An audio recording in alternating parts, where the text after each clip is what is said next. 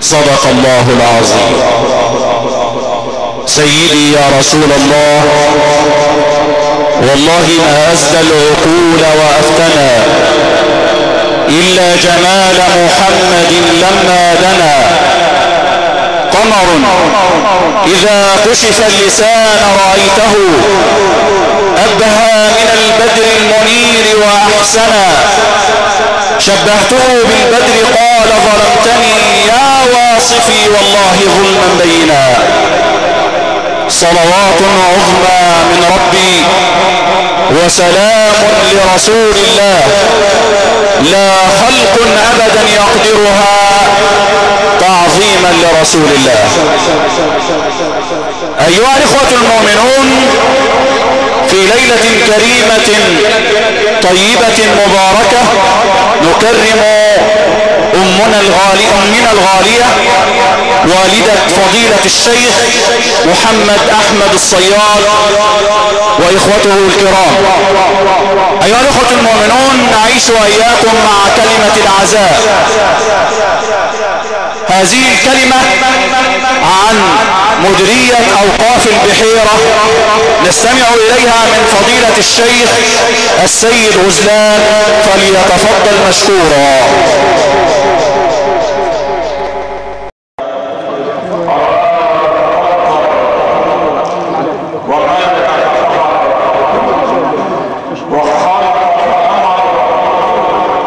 وعبد فثاب وشكر وجعل مصير الذين كفروا إلى سقر والذين اتقوا ربهم في جنات ونهر فمن نكث فإنما ينكث على نفسه ومن أوفى بما عاد عليه الله فسيؤتيه أجرا عظيما وأشهد أن لا إله إلا الله وحده لا شريك له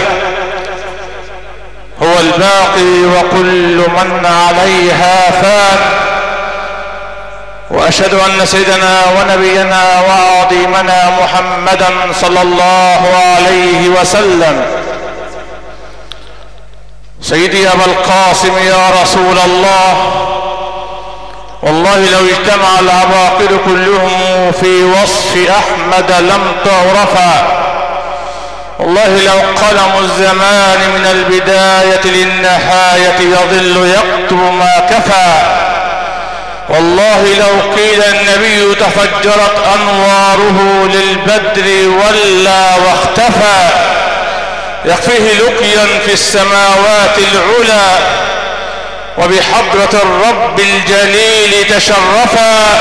يكفيه أن البدر يخسف نوره ولكن نور الحبيب محمد لن يخسفا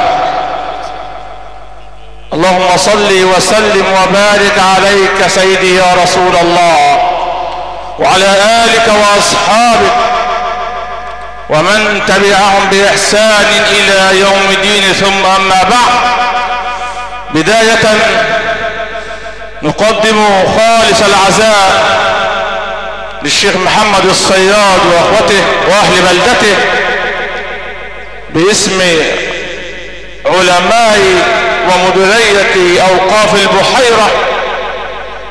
ونشكر أهل القرآن.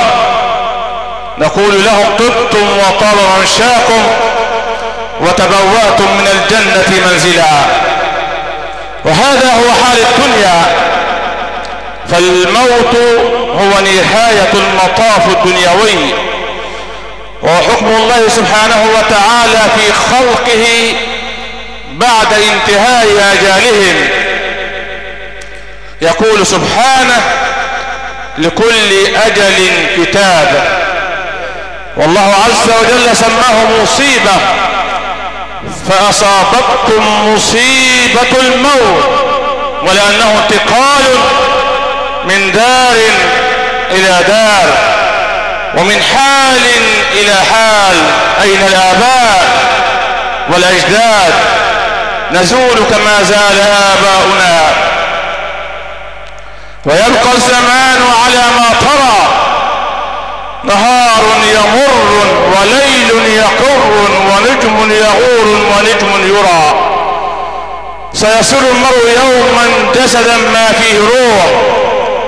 بين عين كل حي عالم الموت ينوح نوح على نفسك يا مسكين إن كنت تنوح لتموتن. ولن عمر ما عمر نوح. مهما عاش الإنسان فهو إلى زوال وفناء. ولكن ده الواجب علينا. ونحن مقبلين على شهر مبارك. وهذه بشرى طيبة لهذه الأم الغالية أنها ماتت في أشهر الله الحرم وليلة شعبان المبارك. سمي بذلك لأنه يتشعب فيه الخير الكثير من البركات والنفحات. ورسول الله صلى الله عليه وسلم يقول في فضله شعبان جنة أي وقاية من النار. فما علينا إلا أن نغتنم هذه الأيام الطيبة بالأعمال الصالحة والتقرب إلى الله سبحانه وتعالى بآلائه ونعمائه وحمده وشكره وأن نصبر على قضائه وأن نفوض الأمر إلى صاحب الأمر وهو الله. الناس للناس ما دام الوفاء بهم والعسر واليسر أوقات وساعات وأكرم الناس ما بين الورى رجل على يديه للناس حاجاته. لا تقطعن عادة الإحسان إلى أحد. ما دمت تقدر فالأيام طارات. يوم لك ويوم عليك. وأكرم الناس ما بين الورى رجل تقضى على يديه للناس حاجاته. لا تقطعن عادة الإحسان إلى أحد. ما دمت تقدر فالأيام طارات. واذكر فضيلة صنع الله إذ جعلت إليك لا لك عند الناس حاجات. قد مات قوم قد مات قوم وما ماتت فضائلهم. ذكرهم الطيبة وأعمالهم الصالحة. مخلدة في قلوبنا حتى الآن. دقات قلب المرء قائلة له إن الحياة دقائق وثواني فاعمل لنفسك قبل ذكر موتها فالذكر للإنسان عمر ثاني. قد مات قوم وما مات فضائلهم وعاش قوم وهم في الناس أموات. عندئذ حينما يفعل الإنسان الخير سيرى الجزاء من عند ربه سبحانه وتعالى. لئن شكرتم لأزيدنكم ولئن كفرتم إن عذابي لشديد.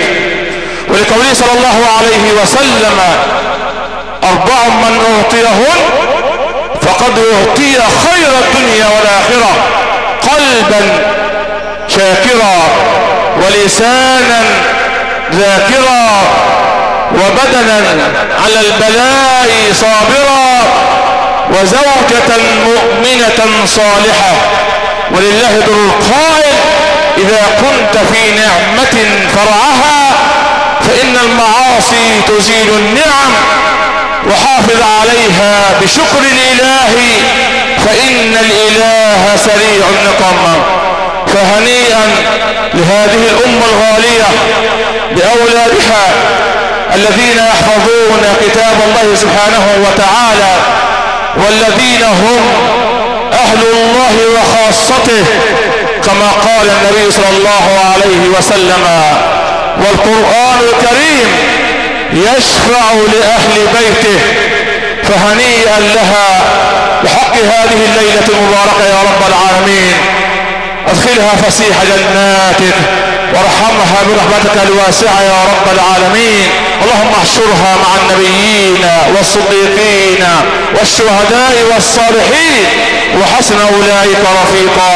واحفظ يا ربنا مصرنا الحبيبة من كل مكروه وسوء.